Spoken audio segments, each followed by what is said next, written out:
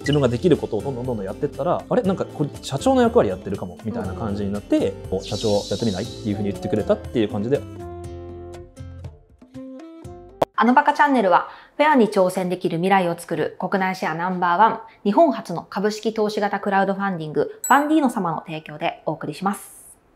では就職を機に東京に上京されるわけなんですけど、それが東京に来る初めての機会でしたか？修学旅行で行ったぐらいはあるんですけうんうんどうん。東京に暮らすみたいなのは。完全に初めての経験ですよね。いざ住んで、そこ東京で暮らして働くってなった時の心境ってどんな感じでした？なんか正直こんなところで働くのかなみたいなのも当然あったんですけどもともと細かいこと気にするタイプじゃなくて、うんうんとりあえずなんかやってみないと分かんないなっていうふうに思う気持ちがすごい強いのと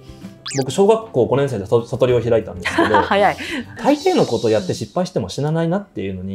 気づいたんですよね。それなんで小5で気づい なんかあったんですか小5の時？いや今の僕ってはいどういうふうに見えてるかちょっと分かんないですけど、うん結構ハキハキしてて、うん、ね。こう芯が強そうみたいな印象を持たれることが多いんですけど、小学校5年生のその日までは、うんなんか結構陰湿な感じだっためっちゃ気になる小5のその日何があったのか。なんか失敗したらどうしようとかちょっと自信がないなみたいな、うん。でも目立ちたいなみたいな感じで、そういう子がやりがちな選択でいくと、あの児童会に立候補するっていう。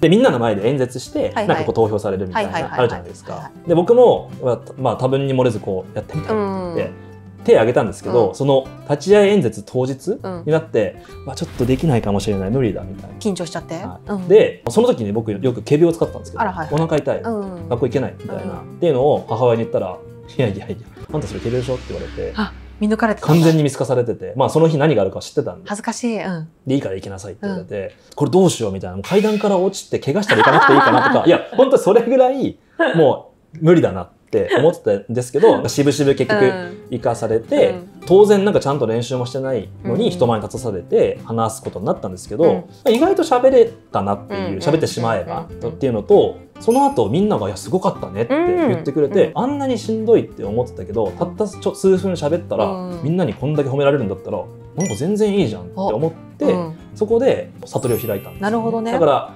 しんどいなとか怖いなって思ったことがあっても、うん。終わっちゃえばそんなにしんどくないことの方が多いから、まあ、とりあえず何でもやってみようっていう気持ちになれたっていうのはその小学校5年生のその日から。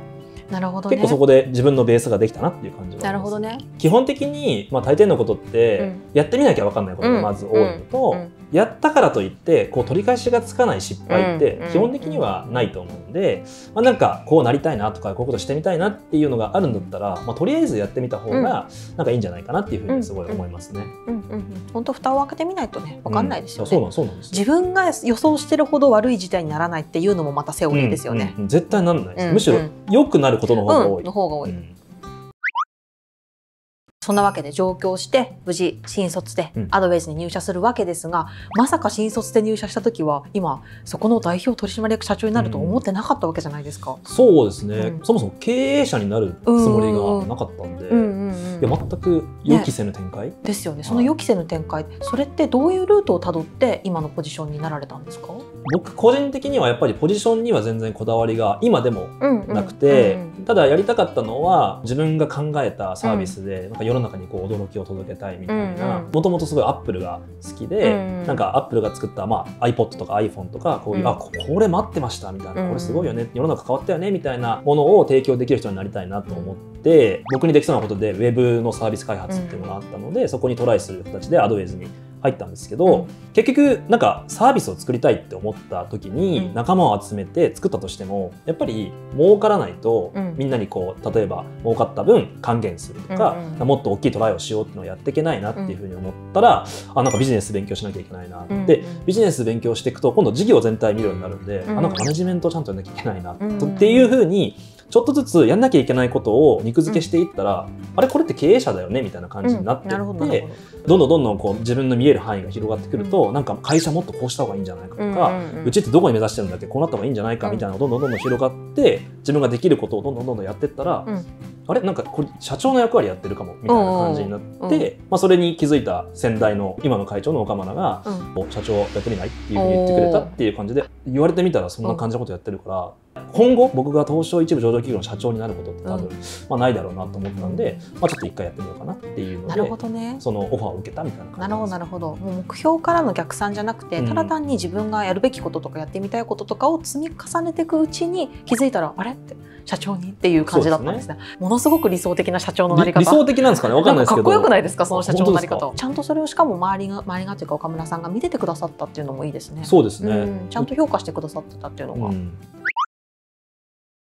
当時からその社長じゃないけど社長みたいな役割をされてた、うん。動きをしてたとのことなんですけど具体的にはどういうことをされてました？会社の成長を形作る新規事業にずっとトライしてたんですけど、うん。常にアドウェイズって会社にはいるんだけれども、その事業責任者として、まあ、なんか自分の会社を持ってるつもりでというか、うんここは自分の意思決定の裁量でやってるからこう自分についてきてくれる人をどれだけ多く作れるかっていうのをすごい考えてやってたん。で、自分が一国一城の主みたいな覚悟で、うんここで起こった問題は全部自分の責任だ、うん。でここであみんながどれだけ希望を持ってやれるかも自分の責任だっていうふうに思ってやっていたので、なんかその時から目線はやっぱり1個とか2個とか上を見ながら、うん。ただその範囲内でできることだけやってもしょうがないので、今できてないけどややるべきことできるようになるべきことをちょっとずつこう増やしていくっていう目線でコツコツやったっていう感じですかね。責任感の塊だったんですねそうですね。なんかやっぱり山椒すごいねってみんなに言われれたいっていうのがあったんで、なるほどね。あいついいこと言ってるけど、うん。全然仕事してないからとかっていうのが一番自分の中ではかっこ悪いって思ってたんで、なるほど常にこうみんなが頑張ろうって思えるようなうこうビジョンを描いたり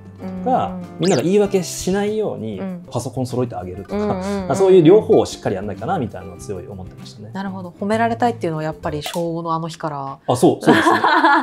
結構大事だと思うんですよ。自分わの存在感を認識するためにうんうんうんうん。はみんなが反応してくれないと分かんないじゃないですか。わ。かりますわかります、まあ、初めてじゃないかもしれないんですけど人生で初めて大勢の人から称賛された日のこととかって結構リアルに自分の中に息づいてますよね、ずっと。うん。うん僕も今はあの、まあ、アドウェイズっていう会社の社長で、こうたくさんの人の期待に応えなきゃいけない。それがうまくいったらこう褒められるみたいな中で頑張ってるんですけど頑張る対象は何でもいいかなと思って。て、うんうんうん。家族で幸せに暮らしていきたいから一生懸命頑張りますとかでそうすると家族が喜んでくれるとかでも何でもいいんですけど自分がせっかく時間をかけて働いていく仕事になるはずなんで、まあ、誰かがこう喜んでくれるようなことを見つけてちっちゃくちっちゃく頑張っていくことでも自分にとっての満足感って得られるんじゃないかなって思いますよね。うんうんうん。じゃあ今年の7月1日ですよね。そうですね。代表取締役社長に就任されたわけですが今後アドウェイズをどんな会社にしていきたいなとかってあるんですか、あそうですね。自分で作った会社ではないんですけど、すごい自分にチャレンジするチャンスを何度もくれた会社なので、会社としても経営理念として金儲けより人儲けって言ってるんですけど、うんうんうん。単純にこう僕が社長になって業績が伸びたっていう会社にしたいなっていうわけではなくて、うんうんなんかアドウェイズに関わることアドウェイズに入社することでうん。他ではできない経験ができてすごく成長できた。でその結果会社の業績も伸びたみたいな形の会社にしていきたいなっていうのを思ってるのが一つあるのとやっぱりアドウェイズって広告の会社っていうところ強いと思うんですけど会社としてはこう何これすげえこんなの初めてっていうのうんを世の中にたくさん送り出していきたいっていうふうに思って会社をやっているので広告事業だけじゃなくて、まあ、もっと多くの人が触れてくれるようなこう CM 向けの事業とかを作って、まあ、それがあの次のアドウェイズの顔になるぐらいまでやれると僕が社長になった意味ができるかなと思うので、まあ、そういったことをやっていきたいなって思ってます。我々もねあの高山さんをはじめ アドベイズの アドベイズの皆様には大変お世話になっているのでね。あの勝手に仲良し企業だと思っておりますので今後も応援させていただきます。ありがとうございます。以上株式会社アドバイズ代表取締役社長山田翔さんに今までの経歴をお話しいただきました。山翔さんありがとうございました。した。後編ではそんな山翔さんのハードシングスについてお話しいただこうと思います。よろしくお願いしはい、ますよろしくお願いします。それでは皆さんもご視聴いただきありがとうございました。よければチャンネル登録やコメントなどもよろしくお願いします。それではまた来週。来週 ありがとうございます。来週。ハードシングス先輩は経営者やビジネスパーソンの先輩のハードシングス。人生の困難を乗り越えてきたお話をおよそ10分でご紹介するチャンネルです。この動画を通じて一人でも多くのこれから起業したいと思っている方もう起業されている方の背中を押すお手伝いがしたいという気持ちで頑張って発信していきます。チャンネル登録お済みでない方はぜひ登録をお願いいたします。それでは今回もご視聴いただきありがとうございました